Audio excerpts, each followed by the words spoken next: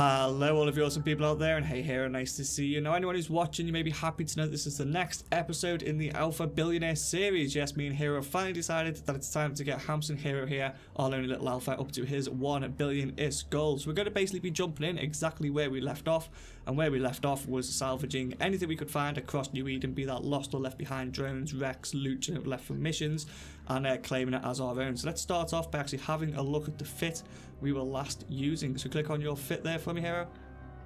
Lovely, and as you can see in the highs, we had the expanded core probe launcher, we have a tractor beam, two salvages, in the mids we have stuff to help with scanning, and in the lows we have lots of CPU mods just to help us make all of this work together in some rigs. So if you do want to use this fit, we'll have it linked in the description down below.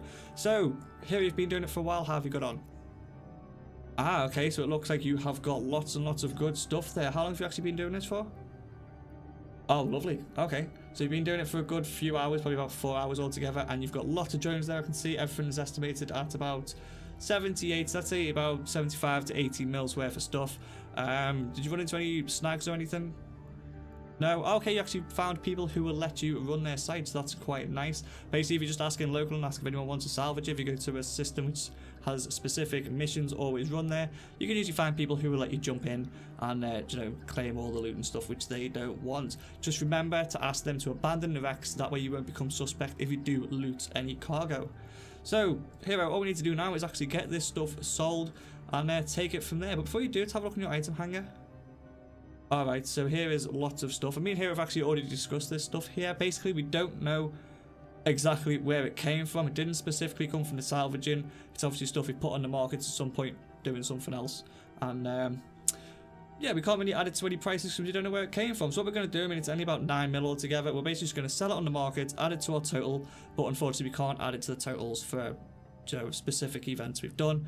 Um, so yeah, we'll just leave it at that. So Hero, we're going to leave you now, get everything sold, and we'll come back to you once you're done. Okay, Hero, so you're back. That means you've either sold everything or you've run into a problem. Hopefully the first of the two. Great. Let's have a look in your wallet then and see what's going on in there.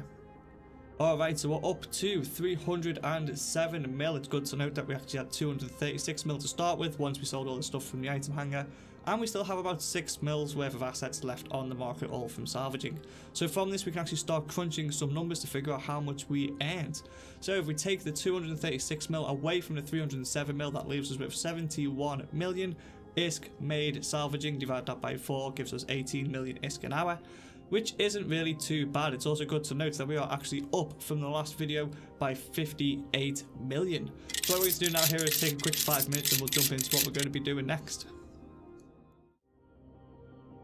Alright, here you are rested and ready to go. Good to hear. Just click on your character sheet for me in the top left. There we are, and then click on the interactions tab and let's have a look at your standings.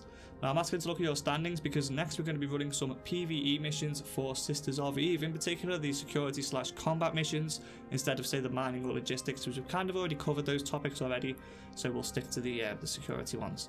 Now, since we don't have any standings whatsoever with the Sisters of Eve, we're basically going to be starting at level 1 missions, which means the payouts aren't going to be brilliant, but hey, we've all got to start somewhere.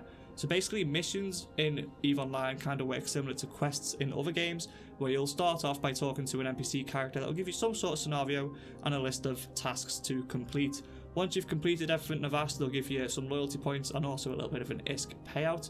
And as we all know from the Faction Warfare video, the loyalty points can be used in the loyalty point store to get some awesome faction modules, faction implants, and faction blueprints, as well as some other goodies. And in particular, we're going to be running the Sisters of Eve ones because they have some nice stuff in their loyalty point store. So what I need you to do now here is fit a ship for me. I want you to stick to the Minmatar lineup. I would suggest a Thrasher since our skills aren't too good and the extra firepower will come in handy.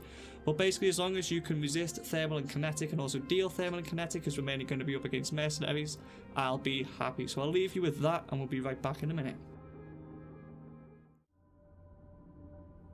And here is the ship Hero has fitted. He's decided to go for the Thrasher, which is an absolutely lovely ship from Minmatar, aside from the fact it looks a little bit like a fish, but it hits hard, moves fast. Do you know what else do you want? So let's have a look exactly what you've got on there, Hero. Okay, in the highs, we've got 200mm light scout autocannons, a full rack of them, so we're going to be doing some nice damage. We've got a NOS as well to help with our cap. We also have a afterburner on there, 1MN. Yep, 1MN, shield booster, a adaptive invulnerability field to help with the uh, resists. We also have a tracking and damage mod in the low, so we're going to be able to hit harder and hit better. Small semiconductor memory cell for cap, a small hybrid burst for damage, and the anti-thermal screen reinforcer 2 just to help a little bit more of that thermal resist and of course lots and lots of ammunition so we won't need to be running backwards and forwards all the time so what I need you to do now hero simply get yourself into that ship and uh, we'll take it from there and get into some missions are we happy hero lovely so what we need to do now is search for the NPCs that are going to give us these missions so to do that open up your agency window there we go, drag it over to the right screen for us. Brilliant. And straight away, we want to click the specified drop-down menu at the top there. And we want to search for agents. You can use career agents, but agents gives you like a broader spectrum to work from. And this is going to show us all of the agents available throughout the whole of New Eden. So what we want to do now is pinpoint to exactly what we're looking for. And to start with, we're going to be clicking the any faction drop-down. That's the one, and we're going to search for Servant Sisters of Eve. If you wanted to run missions for a different faction, obviously you would just search for that faction in here. So Servant Sisters of Eve for us. And this is going to show us all of the missions available for SOE throughout the uh, entire galaxy. So we want to pinpoint it down even further by clicking the any level drop down menu top right hero. That's the one. And since we can only run level 1 missions, we just want to click level 1 missions. And there we go, so showing us all the level 1 missions for Sisters of Eve. But we can narrow this down even further like Hero is doing. Simply click the any type drop down and we want to select security, which is the combat orientated missions. And here we are, this is exactly what we're looking for. We've got a big list on the left there. Simply pick one which meets your needs. Now, we don't really want to go to low sec or null sec, so probably one of the top two would be good for us since it's not you missions and missions away. Eight jumps is perfectly reasonable.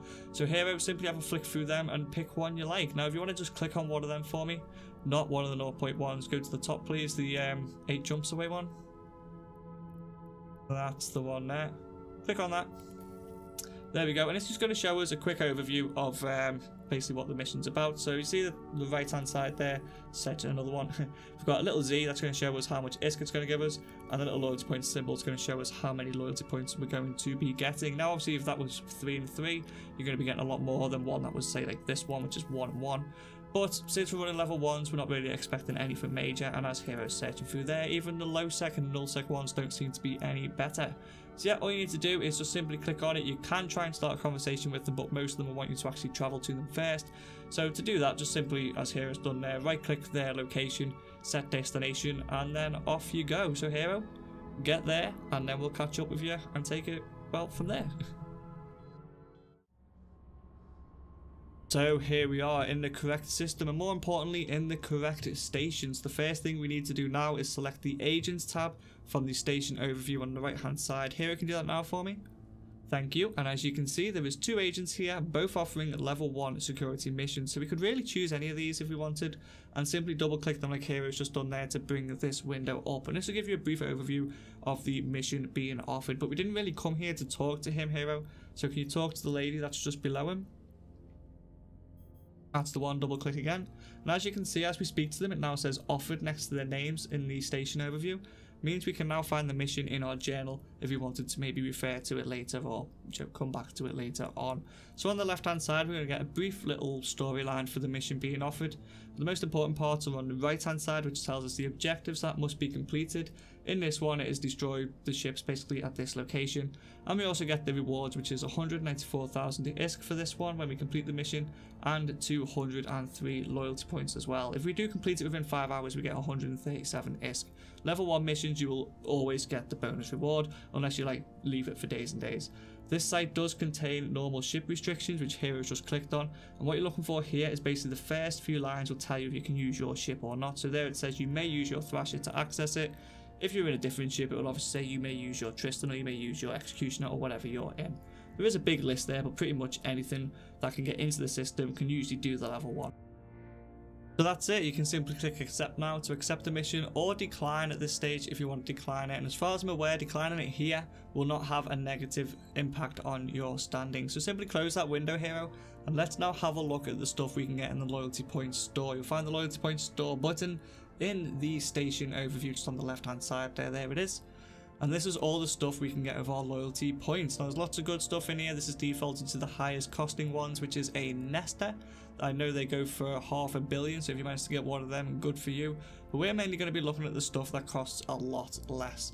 Now you could spend ages looking through all this stuff because there is tons of it here. Um, but pretty much you want to get the best stuff you can or the stuff that costs the most anyway so we can sell it on the market. So here you just keep flicking through and when you're ready just hit the, uh, the start button and we'll get into the mission. And that's it, the mission has now started. As you can see in the top left there, we now have a new little drop down thing that says agent missions and it's telling us exactly what we need to do, right down to telling us that we actually need to undock. So we could simply click the undock button like we normally would, but here we just want to click the undock on the left hand side there, just where your mouse is hovering. There you go, and you'll see that it actually undocks for us. So how cool is that? I don't remember that being there, but it's uh, made it missioning a lot easier since you just need to keep clicking the little options in the top left. So now we're in space, you can see we're actually in the correct system already because it's telling us to warp to location. If we are in the wrong system, or we had to jump a few systems, it would simply say set destination there, and it would obviously set the destination for us. So yeah, warp to location, and this is going to take us straight to where we need to be. Now, some locations will simply warp you into the middle of a group of enemies, whereas others will take you to a warp gate. So it's always good to have all your modules running, ready, prepared, reloaded before you actually get there. Now, since this one did actually have some ship restrictions, we're pretty sure we're going to run into a warp gate here rather than a group of enemies just as we have now. But there's no harm in having all your modules ready beforehand anyway. Now here, I don't think we need to walk anyone through PvE, you know, if you're actually playing the game, you should know how to lock into something and uh, shoot at it. So we'll simply let you do your thing and we'll catch up to you once you're done.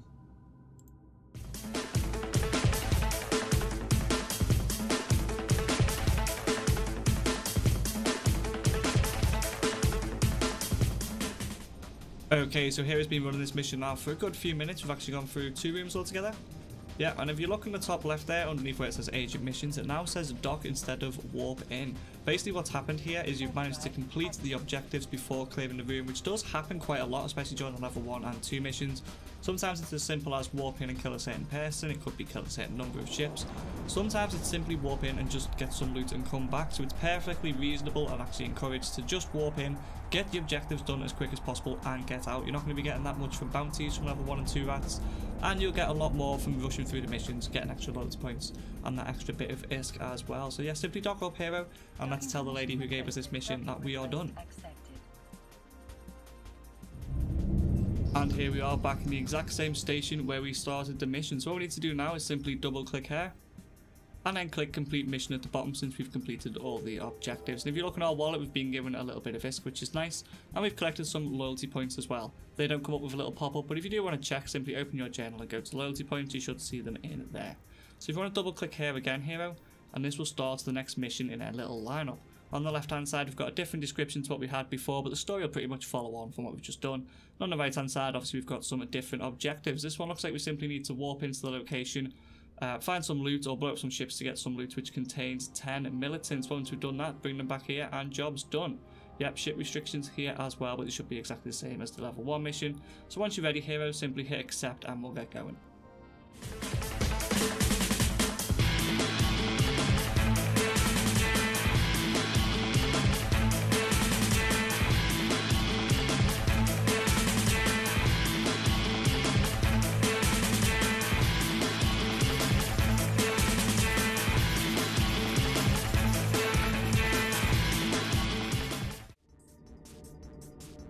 And another mission down. Here, everybody's really starting to nail these now. Keep it up. Let's have a look in your cargo and make sure we have everything we need to actually complete the mission. That should be 20 militants, 10 for her and 10 for us because she did want to split them. Lovely. So we need to do now is start a conversation with her and then hit the complete missions button at the bottom. As you can see, all the objectives have nice little blue checks next to them telling us they're done. And we are left with 10 militants for ourselves. Now these are mission specific items, so you usually can't sell them on the market. So if you do want to get rid of them, you can either trash them or right click them right click them here there you go. And I hit find in contracts as you can see these are roughly going for about 100,000 ISK per 10 militants but they don't sell very often because like I said they're quite useless outside of the mission. So let's have a look at your standings now hero and see what's been going on in there Now as we can see underneath the corporations little drop down we have Sisters of Eve. They weren't even listed before because we had exactly zero standings with them. We're now up to 0.12 and that's just after doing two level 1 missions. Right so we need to get up to about 1.0 I think to do level 2 so here we need a lot more work to do um, to get up to there. And if you look in the bottom right you can see actually a nice little detailed description of where these standings have come from. So so far we've done two missions and we've got um, a little bit of standings for both. If you look underneath corporations we actually have agents and we now have a personal standing with this agent which is 1.15 now i'm not 100% what this means i'm pretty sure it means that you'll get like better loot better rewards from them um, but other than that I'm, I'm not really sure what the point of having individual standings is so I don't know, it might be something you want to mess around with here. Maybe do the same agent over and over and see if you get better rewards. So that's pretty much all we have to say on this one. We're going to go back to the good old days now and just leave Hero to do whatever the hell he wants for like the next few days and hopefully when he comes back Joey will have made some money and we'll be able to crunch some numbers and see exactly what we made. So that's pretty much all we have to say on missions. As I said Hero, just nail through them, get as much money as you can, and uh, we'll be right back. So if you did like this video, then please hit the like button down below. If you haven't already, hit the subscribe button, and um, yeah, we'll see you right here very soon in another video. Bye-bye. It's about getting an alpha clone up to billionaire status in as short a time as possible. What we'll need to do is I need you to create an alpha clone and then but my fit like I said is kind of designed to blow these things up at range like this and then go after the boxes after. And I have tried this a few times because I've tried to record this a few times but something keeps happening like